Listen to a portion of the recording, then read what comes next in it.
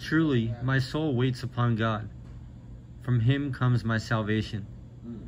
He only is my rock and my salvation. He is. My defense. I shall not be greatly moved. Mm. How long will you imagine mischief against a man? You shall be slain, all of you, as a bowing wall shall you be, and as a tottering fence.